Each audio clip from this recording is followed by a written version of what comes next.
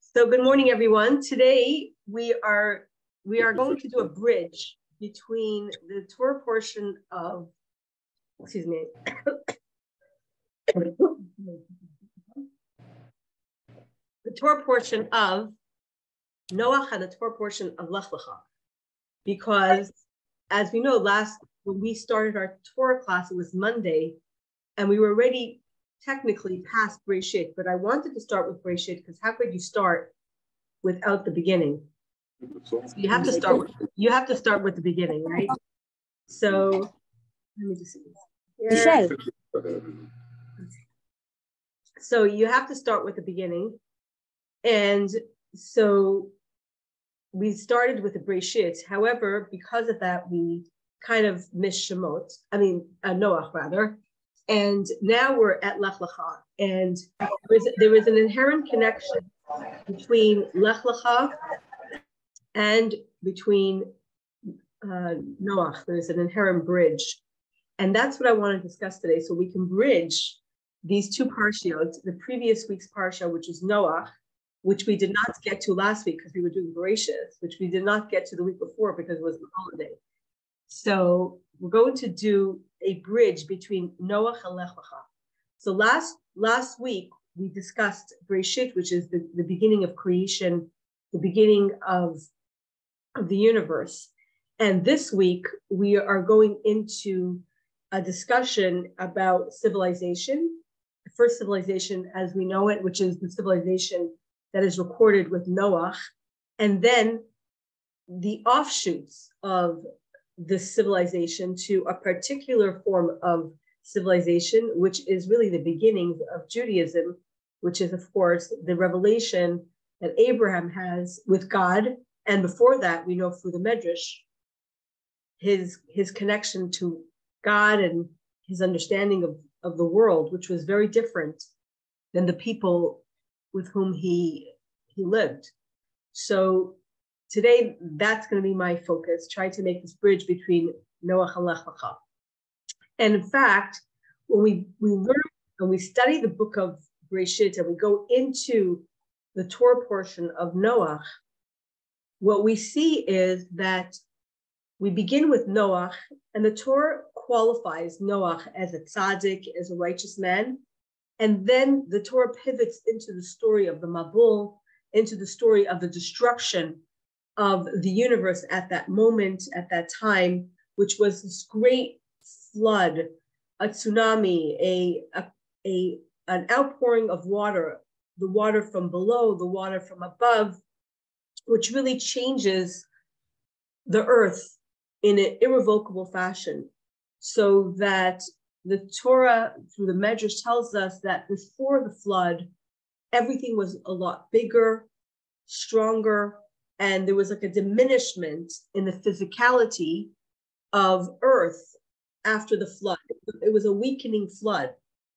At the same time, it was a clarifying flood, and we have from God to the Jewish to to Noah actually we have a, some kind of understanding and this understanding is symbolized by the rainbow. After the flood, God brings a rainbow, and the rainbow symbolizes that God recognizes the inherent flaw in human nature, the inherent flaw of humanity, the inherent flaw in, in this creation called Earth, and specifically in this creation called humankind, that that the way uh, Noah the way it's put in Noah, it says that God understands, so to speak, that man is Raminu Orav, is evil from his youth, and therefore there is not much he can do to, to prevent a civilization from going awry, and therefore God instructs the descendants of Noah and Noah with a framework of laws that will kind of keep them on the straight and narrow but at the same time, God promises that he will never disrupt the, the nature of the universe in the same fashion.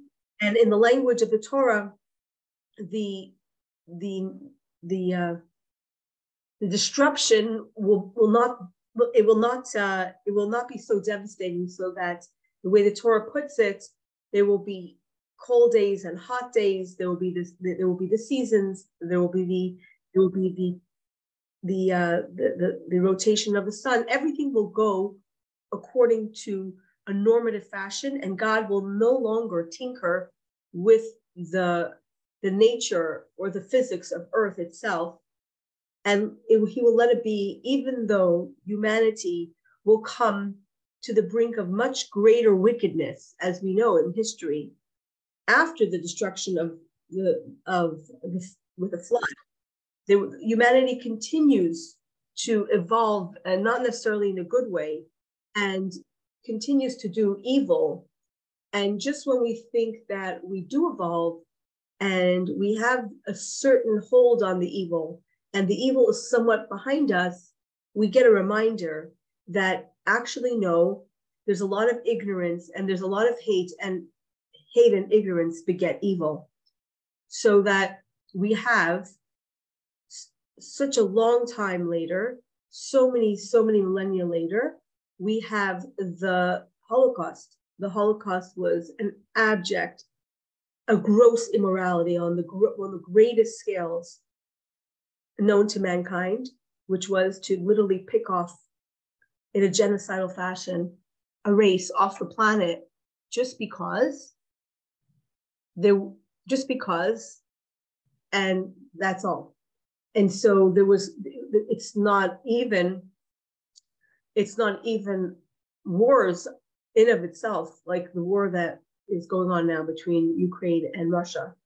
Wars in and of itself are are very are very um, immoral in a certain fashion that they're they they're they're really ego driven and they're ego driven they're power driven and often if if people would step take a step back wars can be prevented. And we know, let's say, in the, in the history of the recent history of the United States, where there was a lot of contention with uh, Russia over the years and the missile crisis that happened in the 60s, that, you know, there for the grace of God and for some quick thinking people, the world could have been also brought to uh, a world a world war that would have cost the lives of so many.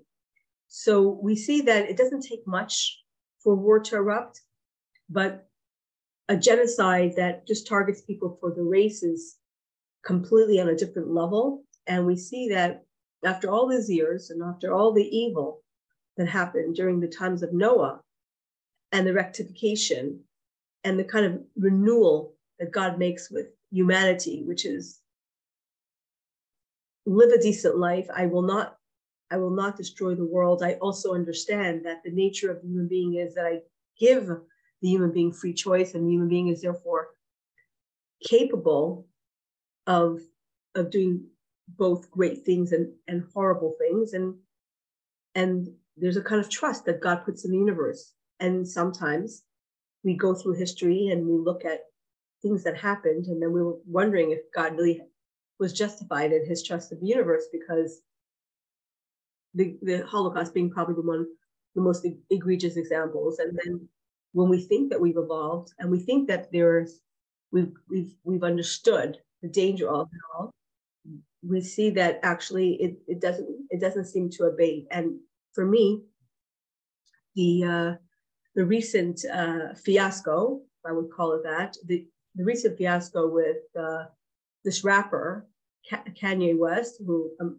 really not familiar with rap. not my cup of tea in terms of uh, music. But the fact that there was this egregious and very deliberate statements that he made against all the Jewish people, uh, wishing really very bad things on the Jewish people, and then hurling very old anti Semitic tropes uh, against the Jewish people. And the reaction that you see, although from a certain perspective, yeah, people are bearing down hard on him, and that's actually bringing out more of it. But what you the reaction you see all around is, well, there is a bit of truth in it, isn't there? And I even heard this reaction from Jews. So this kind of this kind of um, not being able to to create a very clear line in the sand where you take a whole people and malign them for the sins of, of, of some and and and it's done in an egregious fashion and it really does underscore how much we have not evolved actually since the time of Noah, and that what it says in this week's Torah portion that God says, I won't destroy the world because the human being is Rami Nu Arav, is inherently flawed from a young a young age, is is all the more true. It's a depressing thought, undoubtedly, because we hope that we get towards more light as we get closer to the Mashiach and away from things like the Mabul, away from things like the Holocaust. You would think that humanity would learn and evolve and grow and become better. And we see that there is the, the fault lines of what causes um, dissension, of what causes discord is the same. It's always been the same. It's ego, ego, and more ego. And that ego plays itself out in, in multiple ways. But if you really want to get to the root of it, it's simply ego. And then when, when the ego is hurt, then everything is justified in the name of the ego being hurt. And then that's it. And there's the unleashing of something really, really wicked. So where we go from this is that we draw strength from from those who were able to overcome that ego. And here we have a very interesting connection between the story of Noah and the story of Abraham. Now, in this week's Torah portion, which we're going to open up in a few minutes, the Torah portion opens up with the story of the flood, a, a sad story, and it ends off on a hopeful note because in the Torah portion of Noah, we have the birth of Abraham at the very end of the of the book of or the section of Noah, we have the birth of Abraham. We're not really introduced to Abraham in a very deep way, just to know who his father is, where he comes from. And in the next Torah portion, the Torah portion of Lech Lecha, we are introduced to this personality of Abraham. And Abraham is the anti-ego. Abraham is the antidote to the hate. Abraham is the antidote to the arrogance. Abraham is the antidote to the to the disruption to disruption to disruption. And we see this in Abraham's personal life and his experiences, and we see it in how he treated people, and we see it in how he reacted to tension, and we see it in how he charts his way and what draws him. So the antidote to the depravity of Noah's generation is the birth of Abraham. And Abraham becomes the shining light. And there is therefore this very interesting bridge between Abraham and Noah. I'm not the one to notice it. This teaching comes to us from our sages. So let's get into the Torah portion, into the Torah portion of Noah. And I want to do a little contrast and comparison between Noah and Abraham and where we can, where where we fit in in the story of Noah, Abraham, and ourselves. Where do we fit in into this kind of uh, trio or the trifecta? What's our story? Because there is an inherent connection between Noah and Abraham. And with that, I would like to uh, kind of, sorry for the expression, kill two birds with one stone, which is to really to connect to the story of Noah, which is last week's Torah portion, and catch us up to where the Torah reading is now, which is the story of Abraham and the, the introduction to the, to the life of Abraham. So let's get into the Torah portion. I'm still letting some people in, so just give me a minute. So let's get into the Torah portion here. And let's see who's waiting to get in. Okay, so let's look at the Torah portion here. The Torah portion opens up, and this is again last week's Torah portion. The Torah portion opens up with the, the, the tale of Noah. And it starts off and says, Ayla told us Noah, these are the generations of Noah. Noah ish tzaddik. Noah is a righteous man. Tamim haya, he was a complete perfect person or perfect. Vidorasav in his generation, as Elohim his halach Noach, Noach walks with God. So this is the introduction to Noach. Noach is a good person. Noach is a righteous person. He is perfect for his generation. He walks with God. And we know that Noah has three children, Vayeled Noach Shabanim, Shem, Ham, and Yafes. Noah has three children, Shem, who is the father of the Semites, Ham, who is the father of the, the uh, of the African tribes, and Yafes was the father of the Asian tribes, according to the Medrash. Vatisha Chaisa Aretz Lefnei and the, the world was uh, very corrupt before God. Vatimale Haaretz Hamas, and the world became full of robbery. And when we talk about robbery, we're not just talking about stealing from people, but very corrupt. Vayar Elikim es haaretz nishtacha, and God saw the earth, and behold, it had become corrupted. He hashas kobasar darkai ala aretz, because all flesh had corrupted itself on this earth. And then comes the decision of God to destroy the, the world. And he tells uh, he tells Noah to make himself an ark and go into the ark, and the rest is kind of history. Now, the Medrash tells us that Noah built this ark for 120 years. And the reason why he took a long time in building the ark, which was under God's instruction, which, which was to create a conversation piece to get people involved into the saga of the ark. And we know that Noah did do his duty. Noah did everything that was required of him. Noah could be compared to the, to the good student that satisfies the teacher's requirements, gets an A on the test, does what is asked of the student, but is not creative, does not go beyond the requirements, and does not go out of their comfort zone. So Noah is an individually good person. He is not a robber. He is not corrupt. He is not destructive in his personal life, and certainly compared to everyone around him, he was a good person. But he was good in his in, in his generation, meaning compared to the people around him, and also that he did withstand the people around him. That's what Rashi tells us. Both he was good in his generation and he was good compared to his generation. And the the upshot of Noach is that the Hasidic masters call Noach a tzaddik pelts, a righteous person who wears fur. And who is the tzaddik pelts? The tzaddik pelts is the analogy that the Hasidic masters give for someone who takes care of his own spiritual need. So that the analogy is given that if there is a room that is cold, you have two options. One is to find a source of heat and warm up the room so everyone who's in the room can be warm, or you can grab yourself a warm blanket or a warm coat and make sure that you're warm.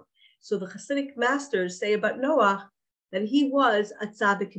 He was a person who put on a warm coat. In other words, he did everything that he had to do. There was nothing that one could point to Noah and say that he was somehow missing righteousness or somehow disobeying God. He did everything he had to do. He protected his family, he followed God, but he did not go out of his comfort zone and he did not try to save humanity. He did save the, the animals, but again, the animals that he saved was on the directive of God, upon the directive of God. So he doesn't take initiative outside of that. And that's not necessarily a bad thing in itself because we know that for a society to function well, what we do need to have is law and order.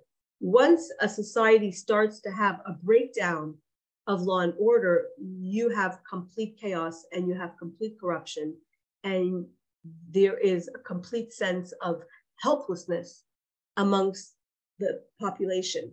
And so, whenever we see an increase in crime, a concern about our personal safety, we start to feel we're not safe in our environment, that creates a feeling of helplessness. And it creates a feeling of a breakdown of society. And it, it is, unfortunately, something that is very, very uh, traumatic and and does create a sense of instability and and when we're talking about setting up a civilization certainly that's a, a, a red flag in terms of how a civilization should manage itself. Then at the, at the end of this week's Torah portion, we're informed by the Torah portion, and I'm going to get back to the Torah portion in a minute. Where's my Torah portion? Here we go. So when we get to that Torah portion, let me just share that with you. So we get to the Torah portion. We find out that at the very end, after the uh, after the the flood, after Noah dies, and there is a generation that uh, builds the Tower of Babel and all that. We get to the end of everything. The Torah starts to tell us about who was who was the children of who. So we know that Noah had three children. One of them was Shem, and then it tells us the story of Shem, Who was Shem, And Shem had had another child. His name was our Pachshad, and Arpachshad had uh, Shiloh, and then Shiloh had Aver, and Aver had Peleg, and Peleg had Ru'u, and Ru'u had Serug, and Serug had Nachar, and Nachar had Terach, and Terach has Abraham. Abraham is is the famous Abraham. And so we have at the end of the Torah portion, we have the the the description of the, the the involvement or the generations between Noah and Abraham. So the beginning of the Torah portion is Noah and, and his tale. And the end of the Torah portion, we're introduced to Abraham. And Abraham um, is a direct descendant, 10 generations down from Noah. Now we go to the to, to the ethics of our fathers in chapter five. We have a very interesting discussion about these 10 generations. So let me get to the ethics of our fathers, to the Mishnah. And in, in Mishnah 5, it's very interesting that the Mishnah goes into different, uh, the Mishnah, the Pirkei Avos goes into different waves. And there are, there are these um, poetic almost descriptions. So in Mishnah 5, in sorry, chapter 5 of, Mish, of, the, of the Mishnah of Pirkei Avot, we come across a series of ideas that are connected to the number 10. So this is Mishnah, this is chapter 5 in the Mishnah Avot. And it starts off with the with the idea that there were 10 utterances that created the world and then it goes on and talks about there's another thing that has to do with 10. And what's that 10?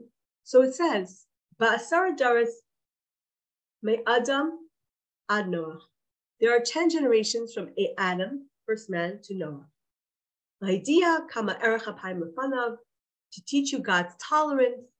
Shekol hadaris haya because every generation angered him and, and went on.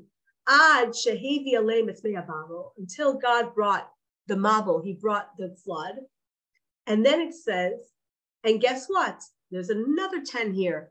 Asar Hadaris Menoach Van Abraham. There are 10 generations from Noah until Abraham. Lahidia Kama Erech Lefanav to teach you God's tolerance. Shekol Hadaris Hayu Machisno because all these generations really got, got angry God got angry. Ad Sheva Abraham Avinu Mekabel Tarkulam until Abraham came and received reward. So the Torah makes a point to tell us that there is this kind of connection, there's this arc between Noah and Abraham, and that is that there's a lot of there's a lot of problems in the generations between Noah and Abraham, but somehow Abraham is the rectification for the generations that come before him. Now it goes on and we'll and it talks again about, about another 10 and we're going to get to that in a minute but before we do i want to take a moment and talk about the fact that the mishnah Pirkei Avot is going into this kind of historical record and making a note about the generations between noah and, and abraham and you know adam and noah and talking about the number 10 and the the question that must be asked about about this type of teaching in the Mishnah Avot is that if you look at uh, if you look at the Pirkei Avot, the sages say about Pirkei Avot that this is a book that's supposed to teach ethical behavior. This is a book that's supposed to inspire us to be better people. Another word for the um, Pirkei Avot by the sages is mila de chasidusa, words of words of uh, kindness or words that inspire righteousness.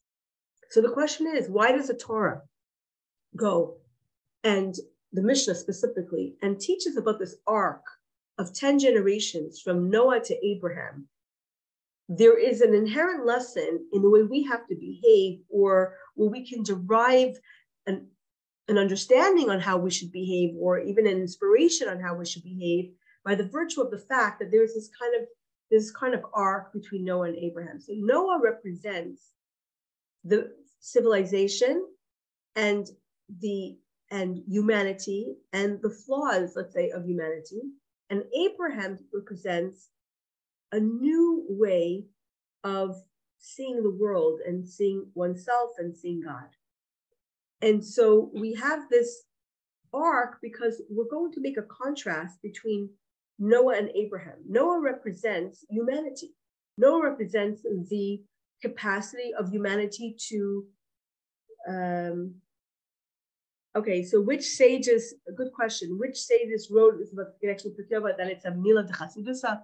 I will I will find the source, but this is repeated often, I guess, in the Talmud that Pirkei is known. It's an alternative name that the Talmud will use for Pirkei We call it Pirkei the, the, the sections of our fathers, but when it's referred to by the sages, so I would say in the Talmud, in, in the writings, because don't forget the Mishnah precedes the Talmud. So the, the Mishnah is there before the Talmud. So whether whether it's in the Talmud or in the writings or later on in in teachings, when Pirkei Avot is referred to as Pirkei Avot or Avot, and it is also referred to by Mila de Chasidusa. That's an alternative name that the sages give us. And it's very clear when you study the Pirkei Avot that there is supposed to be what we call a Musar Haskel. There's supposed to be a walkaway lesson where we can apply to our lives a certain basic fundamental principle of either uh, ethical behavior or faith in God, which the Pirkei Avot kind of puts on puts together that, that there cannot be a disconnect, that there cannot be daylight between ethical behavior and a connection to God, and, and that the two are really dependent on each other.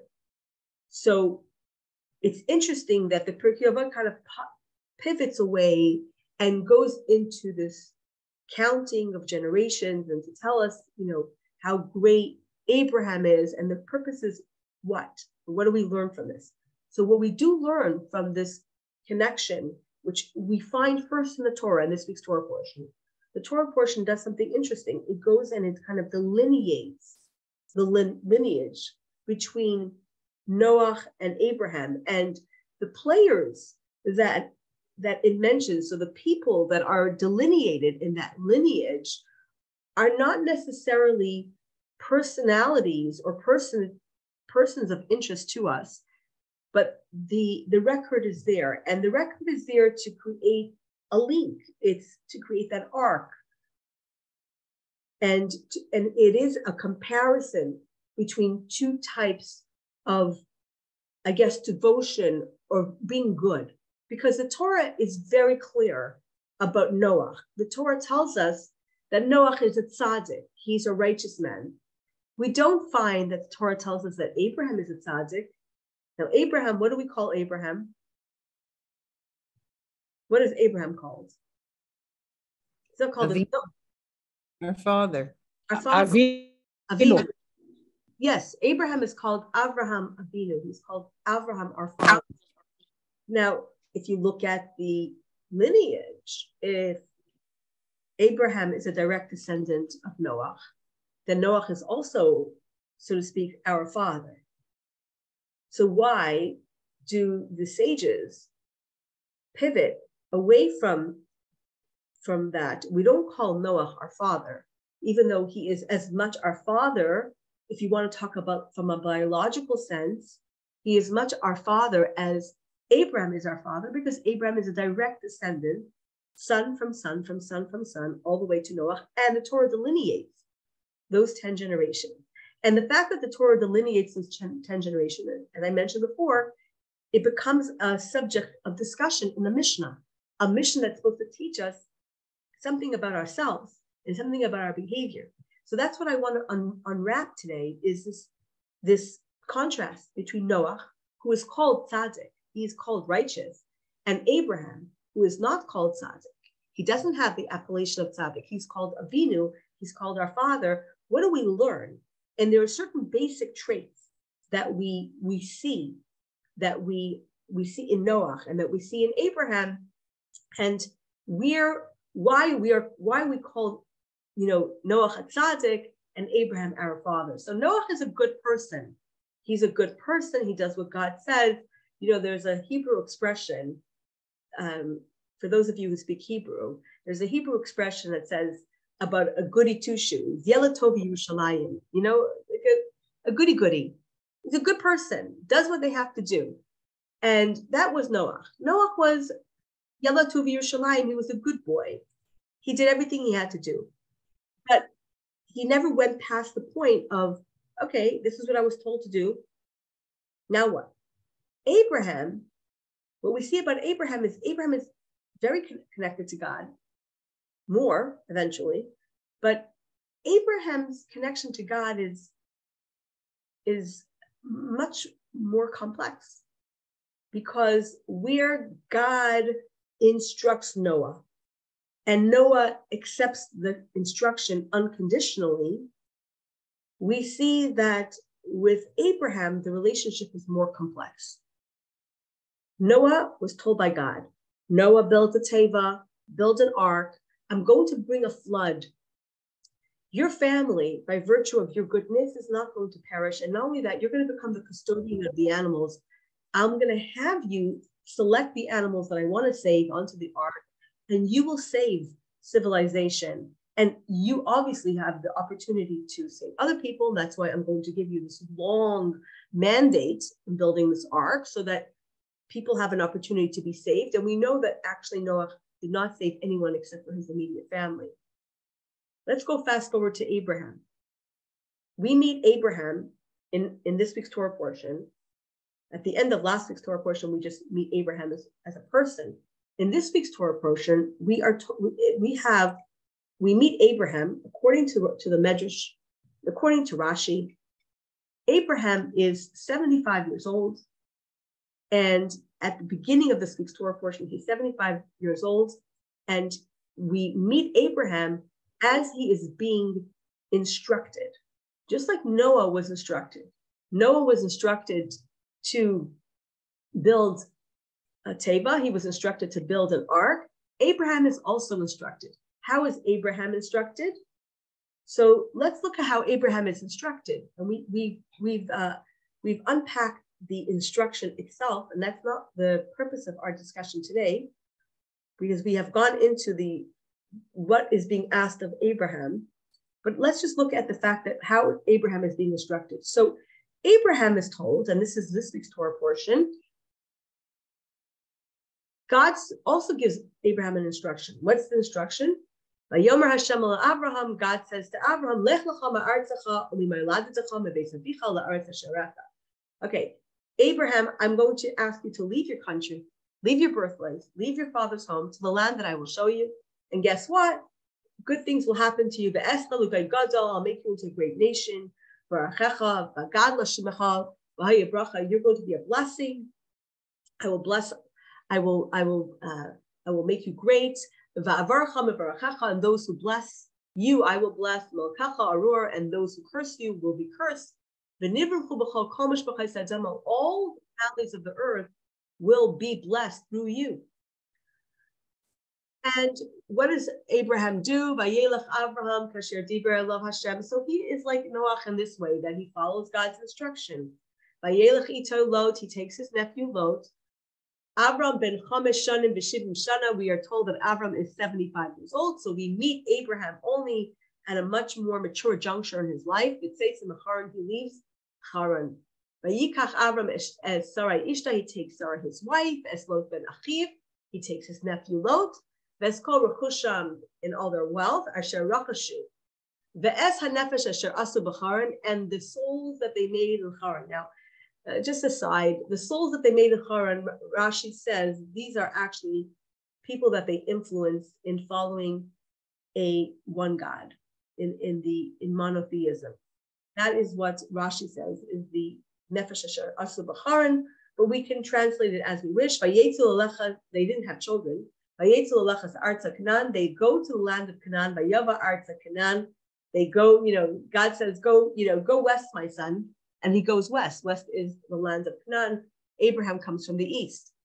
Abraham be'eretz ad makam Shechem. He comes to the city of Shechem, which is Navla Shechem, ad Elon Moreh until Elon Moreh, v'haknani ad ba'aretz. And the, the Canaanites are, are the people that live in the land.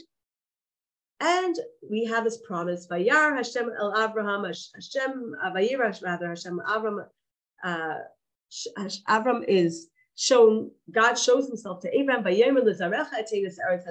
will give this land to your children. Hanirelav, he is overcome by the fact that he has this vision of God and he brings an offering. And there, after he comes to uh, land of Israel, it seems that it's not so simple. So he moves around. Kel. He goes to a place called Beis Kel. Vayet Beis Kel. He pitches his tent in Beis Kel. Uh, Miyam in in more westward. Um, sorry, uh, uh, in, in, the more westward part of the land of Israel. V'ha'ai mikedem, and east to him are the Ai people. Vayevin Shem Hashem. He again uh, builds a, a mizbeach. He offers uh, offering to God, Vayikra b'shem Hashem, he calls in the name of God, the one God. Avram is the only one doing this. And of course, something is not very settling, uh, settling there. And so we see that Avram keeps moving. They used to Avram, third time. He decides to move to the south. What is going on? Why is Avram? He comes to the land of Israel, and this is the land that God showed him, the land that he's going to give to his descendants. He is moving three times. From the time that he comes into the land of Israel, he moves and then finally goes down to the south for some kind of respite. Doesn't say why, but we can imagine there are, there are some kind of trouble that Abraham is going through. Guess what? What happens? As soon as he settles there, and there is a famine in the land, there's no food to be had. It's a very serious situation. So Abraham has to go down to Egypt. Because the the the this the, the, the famine is so severe they're going to die of starvation. So he has to go to egypt. So let's take a break for a second. Think about this. God told noah build an ark noah builds the ark. And as he's building the ark he has faith in god's word. Eventually the flood comes. Noah goes out with his family onto the ark. The animals are saved. He gets back off the ark, he builds his vineyard, he gets a little drunk, the rest is history, and so on and so forth. But everything that God told him he would do, he did. Everything that God told Noah to do, Noah did. So they have this nice reciprocal relationship where, where Noah does what God wants, and God t- does to Noah what he tells him he will do. And and they live happily ever after. And Noah doesn't influence his community, but he neither doesn't get influenced by his community. So let's call Noah, you know, Mr. Neutral. Neutral, but everything goes according to plan. This, the Torah calls him a tzaddik, he's righteous. We come to Abraham. Abraham, we, we meet him at, at the age of 75. There's a lot to Abraham before. We know that Abraham, through the Medrash, recognized God at a very young age. At that time, he lived in a society where people worship nature. And where he lived, the people worshiped the stars, they worshiped the sun, and they felt that each one was a very strong deity.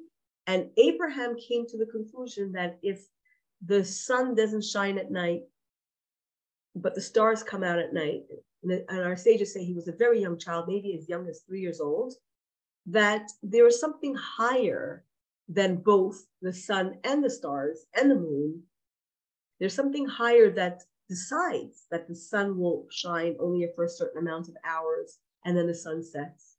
And then the that the that the moon comes out at night and that the moon waxes and wanes and that reflects the sun differently throughout the lunar cycle, and that the stars are out there in the heavens, but they're not visible during the day, so that he starts to see there's something very complex about the universe. It cannot be a rock that is a source of the universe. It cannot be the sun that is the source of the universe. It cannot be the stars that, that are the sources of the universe, or it cannot be the moon that is the source of the universe. And he starts having a very sophisticated understanding of God. And we know the famous story that Noah's father was a, sorry, Abraham's father was a, a person who was a custodian or a curator of good idols, and he had an idol shop. And people would not an idol I D L E, but an I D O L shop, and people would come and buy the idols. And there's a story that the Medrash says that Abraham, seeing his father fashion these idols, thought it was kind of ridiculous because he knew his father made the idols and people would come and buy the idols and then worship the idols. And one time, the story goes from the Medrash that his father left the shop and he put Abraham in charge and he said to Abraham, Do me a favor while you're gone, well, I'm gone rather, please feed the idols lunch and give them their food or else they'll be very angry, you know, whatever primitive thought process was existing at the time. And and Abraham said to his father, like, if they need your food, how are they a God? How are they, how do they have power over you? They can't even eat on their own. And he said, and besides, I put the food in front of them. They don't eat. They just, the food is taken away. So you're pretending that they're eating. What is this act of pretending that you're putting the food in front of them? And his father said, no nonsense. They eat in their own fashion. We have to bring up the food to them, or else they'll be very angry and they're going to punish us for not feeding them because they are the gods. And so for Abraham, it just didn't make sense. And so we see with Abraham is that one time the, the Medrash says his father left the shop and he came in and he destroyed all the idols. And the only idol that he did not destroy was a very big idol. And he put the hammer that he used to destroy all the idols in the hand of the very big idol. And when his father came back to the shop, his father saw all his valuable merchandise completely decimated. He was furious and he said to Abraham, What happened here? And Abraham said, You see this big idol? He got really, really mad at all these other idols. And so he just bashed them all down and he killed them. And his father said to him, What nonsense. You know that that idol can't move? And he says, Yes, and still you still worship him. So there was an understanding that Abraham comes to with, with God, his own understanding. And this is evolves, evolves, evolves until Abraham feels that he's he he is not at peace with the people around him. So he gets this message from God to go to the land of Canaan. And we know that when he comes into the land of Canaan, we just read now that it's not smooth sailing. He keeps moving. He doesn't get settled in the land of Canaan. And then when he thinks he's getting settled, there's such a severe famine that threatens their very life because they literally are going to die of starvation that they have to go to Egypt. And right after they go to Egypt, we know the famous story that is a very complex and uh, controversial story, which is that Abraham says to his wife, What? Say that you are? That you're my sister. That you're my sister. sister. So that so that they shouldn't kill me and take you. And we know what happens. They, because of that, they take Sarah anyway, but it, the, the king of Egypt is punished and he he gives he says to Abraham, why don't you tell me that you were that was it was your wife and so on and so forth. And that in itself is a whole controversial uh, discussion we could have another time about why Abraham lied that way. And that's a whole other discussion. But for the purpose of our discussion today, we see it wasn't smooth sailing. God tells him, Go to the land of Israel. That's the land I will promise you. I will give it to your children, children that he does not yet have. Then he goes to the land of Israel, and we see he is not settled. And then finally, when he kind of settles down, there's a there's a famine that really threatens his life. So he has to get some food in Egypt. He goes to Egypt. Now his life is threatened because his wife is very beautiful. He's worried they're going to take Sarah to the harem. And then he lies, and then Sarah is anyway taken to the harem, but returned unscathed. She's protected. But then he has to leave Egypt and come back. And the Torah tells us that that Abraham has all these problems, and then he has a, he has a breakup with his nephew and he tries to save his nephew from the from the Sodom. He doesn't have any children. His wife becomes past the childbearing age. And then he finally does have a child. And the child, then God tells him, take this child and offer him to the uh, offer him to as a sacrifice. And and he and he he everything that he is promised does not come true. God says to him, I will make you into a great nation, but he doesn't have children. I will give you this land, but he doesn't have respite in the land. I will make you very blessed, but he is struggling with hunger. So there is there is this interesting dichotomy, whereas Noah is a good boy, but God is equally very clear with him and, and God tells him what to expect, and that is indeed met by Noah.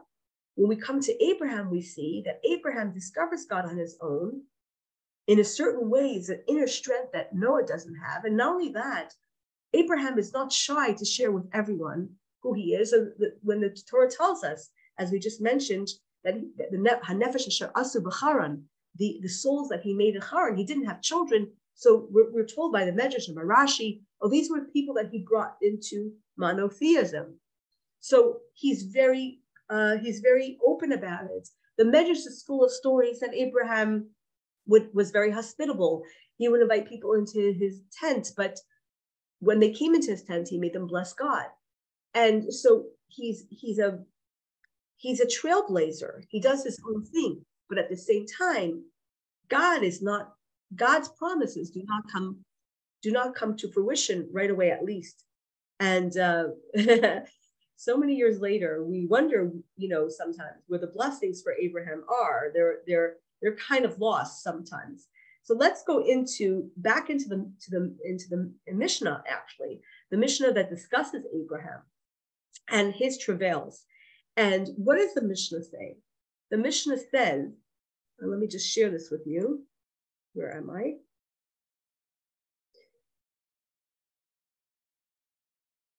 Okay, so back to the 10. So the Mishnah says back when we were talking about listing 10. So the Mishnah goes back, Mishnah Avot says, Asara nisyonis nasa Avram Avinu va'amad bikulam.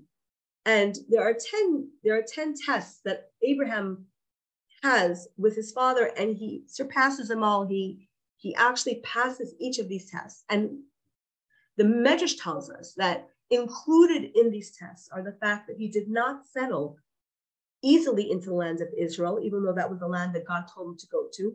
And then once he settled into the land of Israel, he had continuous problems, whether it was problems of, you know, of, of famine or problems with his neighbors or problems with his nephew or problems with his children or problems with his wives.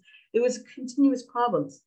And the Torah tells us that he had these 10 tests, va'amad bekulam, but he withstood them all.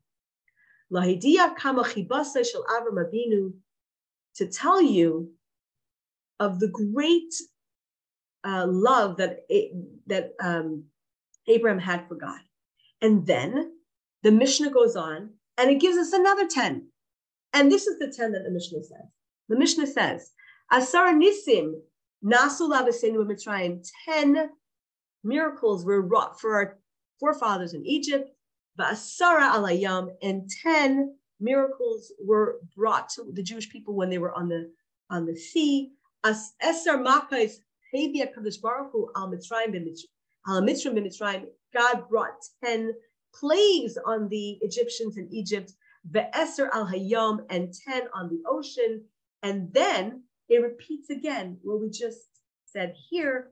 And then it goes on and it says, Asara Nisyanis um, Nisu Avasenu as a Kadosh Baruch Midbar, the, Jewish people tested God uh, 10 times. And they did not listen to my voice. So what we have here is we have a bunch of tens.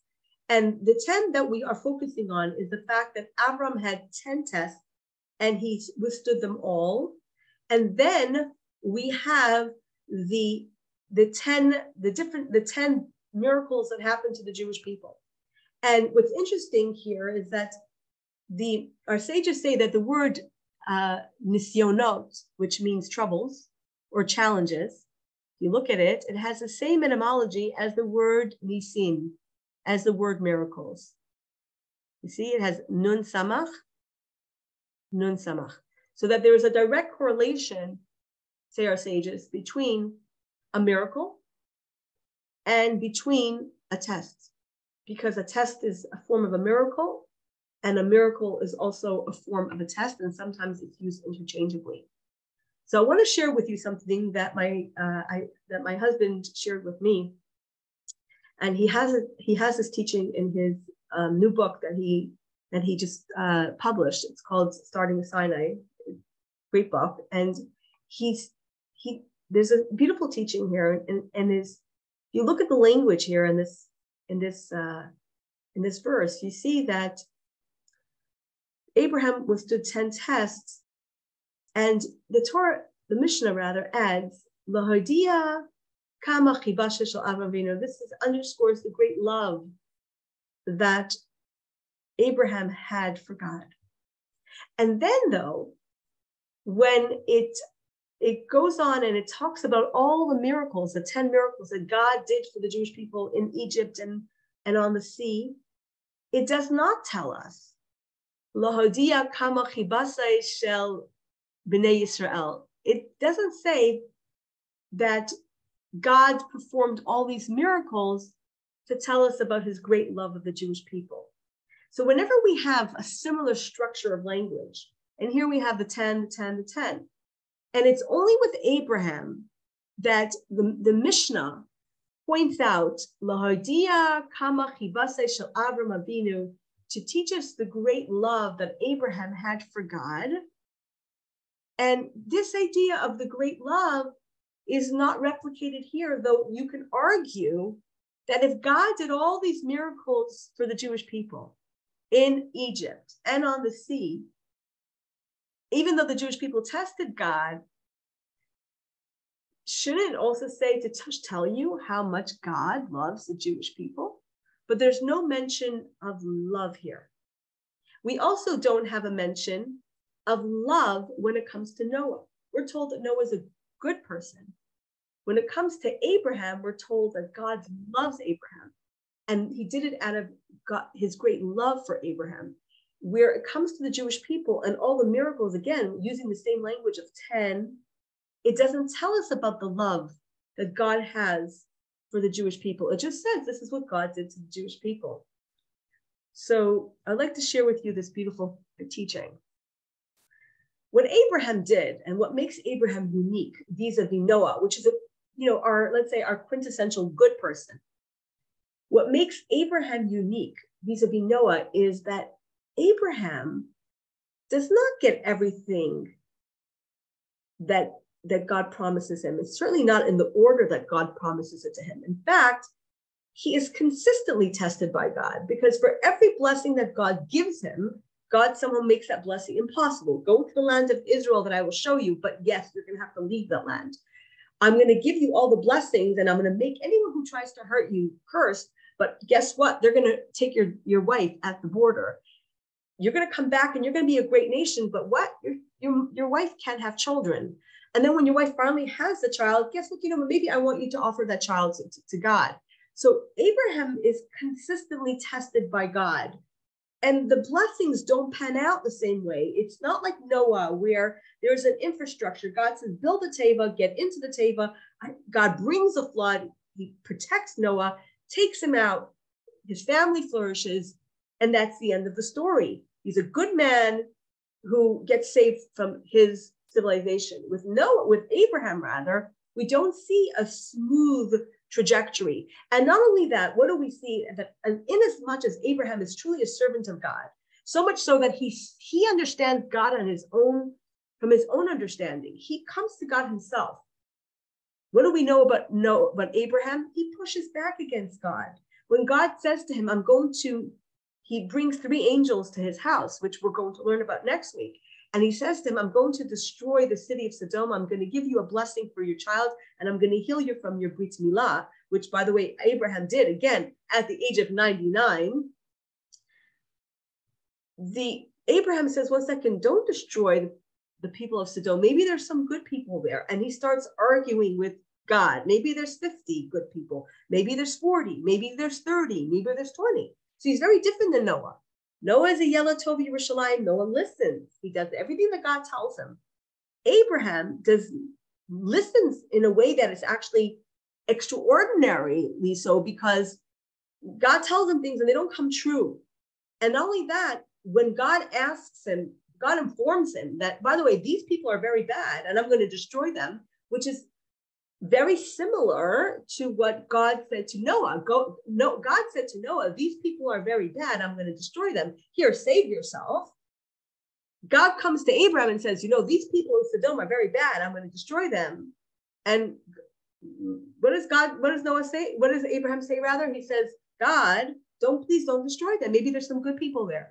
Maybe there's 50 good people. Maybe there's 40. Maybe there's 20 and so on and so forth. He, he bargains with God, he pushes back against God. He's a lot, his relationship with God is much more complex.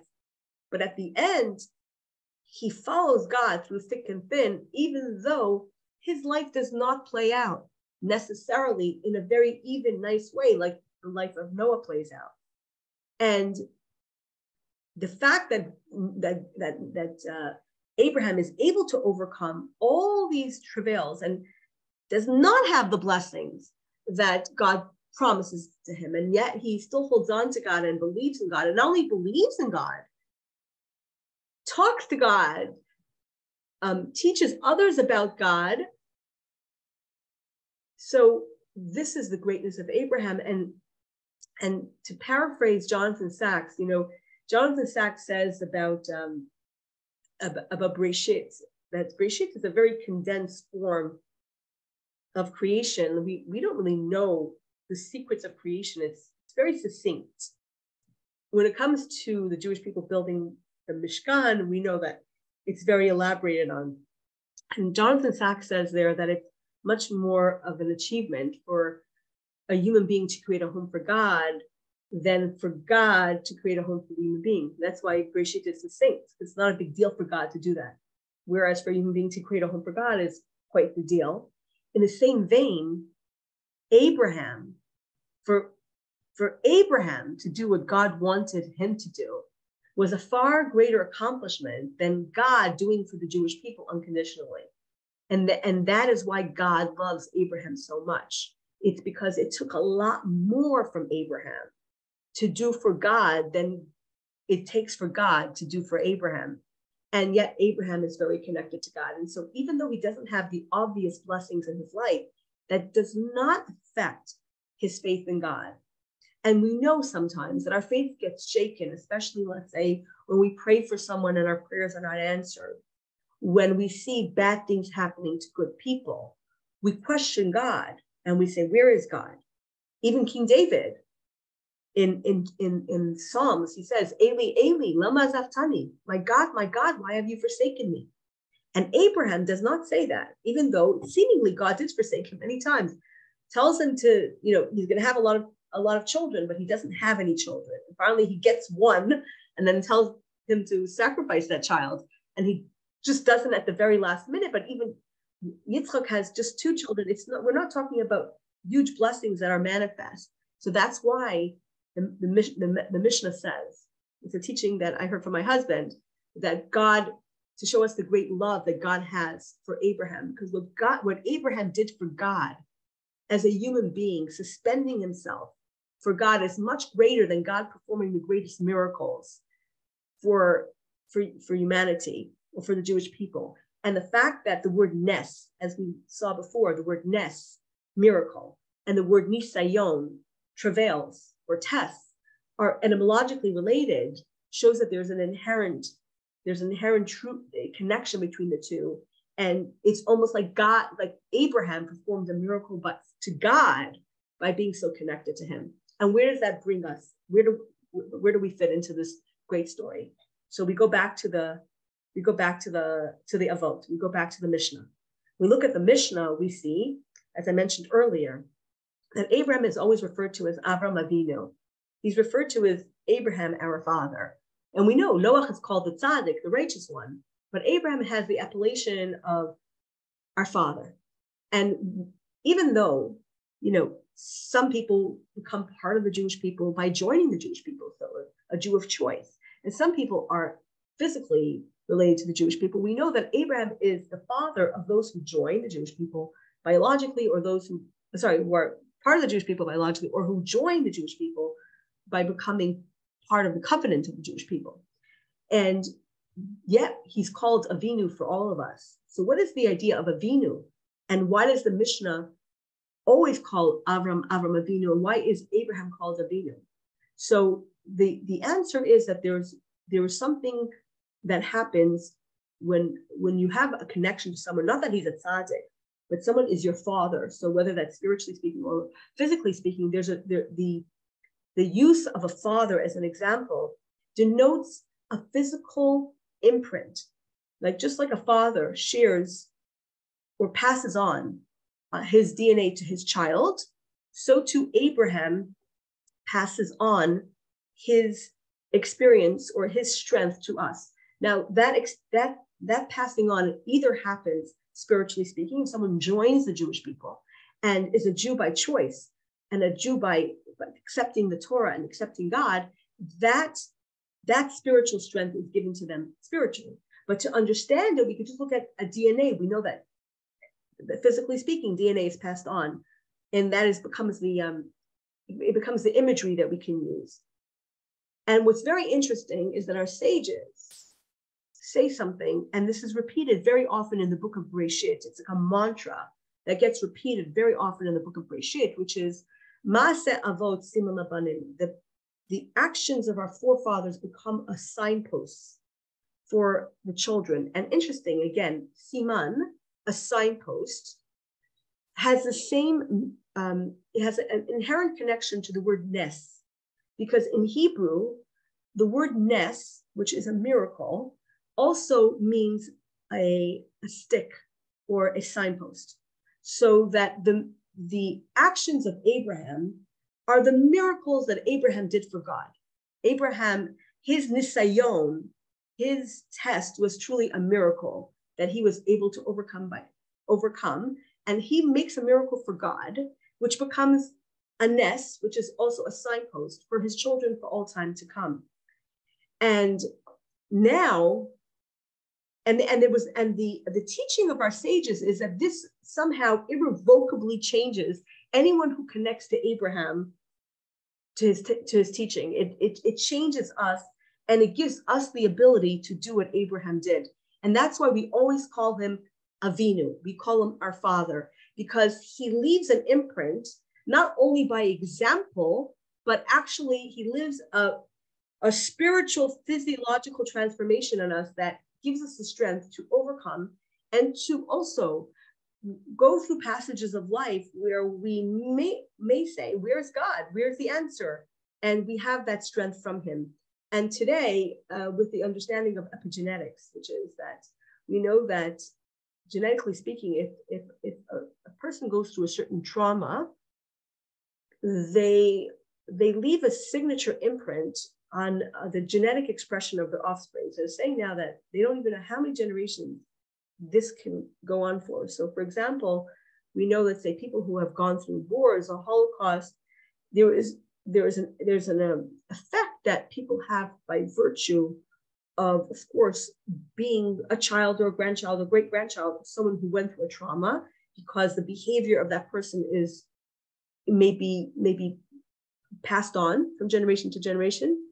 But aside from that, scientists are now understanding that there are certain genes or expressions of genes that are impacted by the experiences of, of not only of a parent, but also of a grandparent and even a great parent, a great grandparent, and maybe even a great great parent. And there is still like a very new frontier in science to understand how experiences actually shift the reality for, for or the possibilities for the descendants of that person.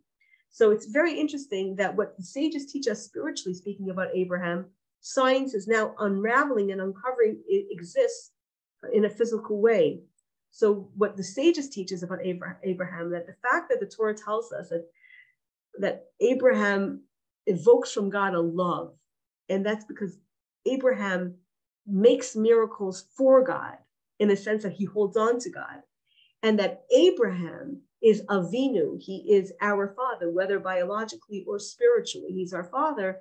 This means that we also have the capacity to overcome. And if we say, no, no, no, I don't, I'm not that person, I'm not that spiritual person, I don't have the capacity to overcome, certainly we say every single day in our prayers, we say, Va'al tevi'enu lo God, please do not give us a test.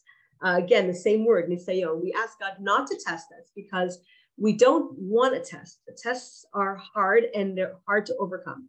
But we see that practically speaking, we actually have endured and have maintained our fidelity to God, and we have maintained our fidelity as a people, even though it's been a very dark history for the Jewish people.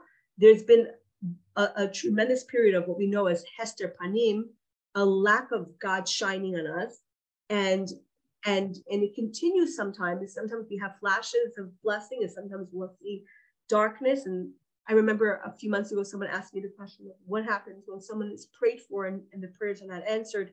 These are the nisayanot. These are the tests that Abraham endured. He already walked that walk, and he gave us a, a, a framework. And so that is why that is why when it comes to Abraham, he is he has the appellation of love because what he does for God is even more than what God does for the Jewish people for the Jewish people. And what he does for us is is power forward his strength to us so that if we go through a dark time we can go back and say we have the strength of Abraham Avinu. He is our father. And the the strength that he had and his fidelity to God, we also have, whether we understand it or not, if it's manifest or not, but we can draw on it just like a child can draw on the DNA of their father. So that is the bridge between Abraham and Noah and how it relates to us. And with that, I hope we are caught up with the Torah portion and we will go forward. Thank you. That's great, Bora. You were fantastic. Thank so much for joining me. Thank you so for joining us. Well, listen, Abraham is a Abraham is a, is a, is a subject that we can study for a whole year and we will not get to the bottom of it, but it definitely is one of the most impressive figures of all of history. Even non-Jews understand that the whole concept of monotheism, going away from the believing of the small idols is, some, is one of the greatest achievements in terms of sophistication of humanity that that uh, that we actually go a certain way going back to there is a kind of there is an idol worship that is today is pretty prevalent, which is the, the idol worship of fame, the idol worship of power. You see this in social media. Influencers, I find this hilarious, but because I'm not of this generation, but influencers, if they use a product, people will use it because they use it. To me, this is an absolute nonsense.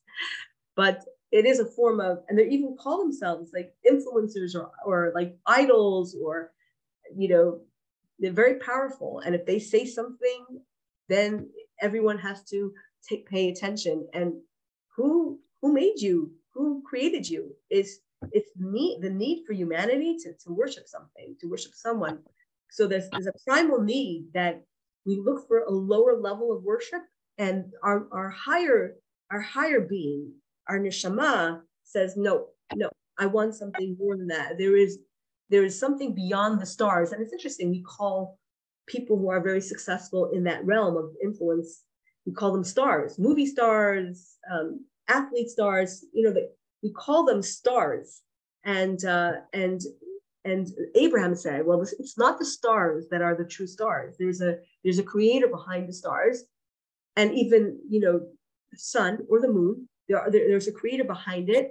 And we have the ability to go back and dig into that reality. And it, it there's there's such a sophistication of faith in Abraham that we can work our whole life and not necessarily achieve it, but at least we have our role model and we also have his strength. Whether we know it or not, we have Abraham's strength and we have to tap into it.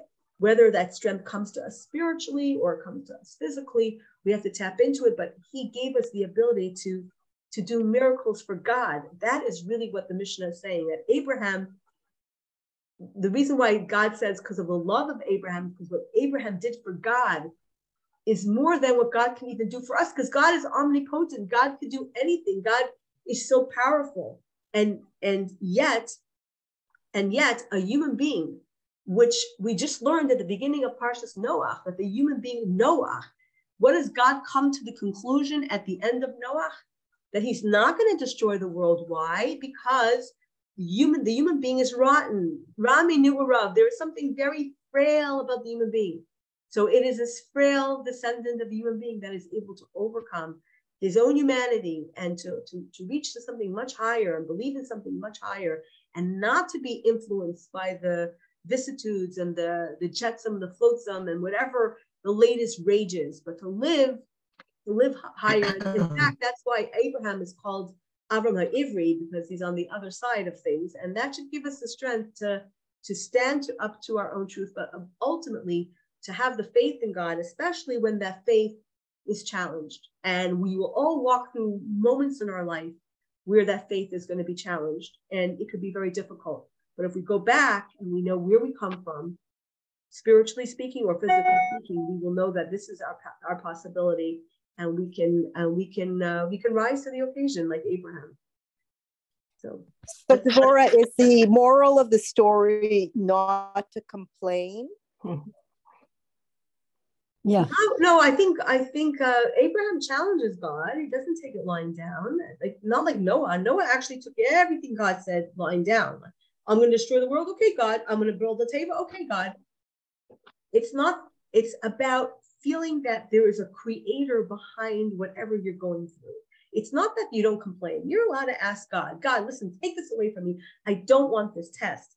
We're allowed to ask that of God, but if we see that there is no way out, which sometimes happens, we're just we're just confronted with something which is difficult, then we say, I can I can do this. I can I, don't have to lose my faith because I'm not really seeing the, the God of my understanding. I, I'm not really seeing the God that I know. Where is my God? We don't have to lose our faith. We can look look at Abraham and say that he was much more sophisticated, and when he was challenged, he was able to overcome. So that's that's the strength that we all possess, actually. Whether we whether we become Jews by, by becoming part of the Jewish nation or if we, are, we inherit that trait, we we have that capacity by virtue of our connection to Abraham. So that's that's the good news. I wish everyone a very inspired week, a, a, week of open and revealed good. But if if faith is challenged, to know that we have the ability to, to be strong in that challenge and to to know how much God loves Abraham because of that, and therefore be inspired to to uh, to rise to rise to Abraham's level and and to know that we we have the ability to do so. Thank you. Thank you. Have, have a most blessed week, everyone. Thank you. Unfortunately, I miss next week. I'm going for my test, my okay. fifth booster. So that's it. But you're always a pleasure, Dora. Thank you. Thank you. My pleasure. Thank you, everyone. Have a great day. Enjoy the fall weather. We're really blessed this week. So enjoy.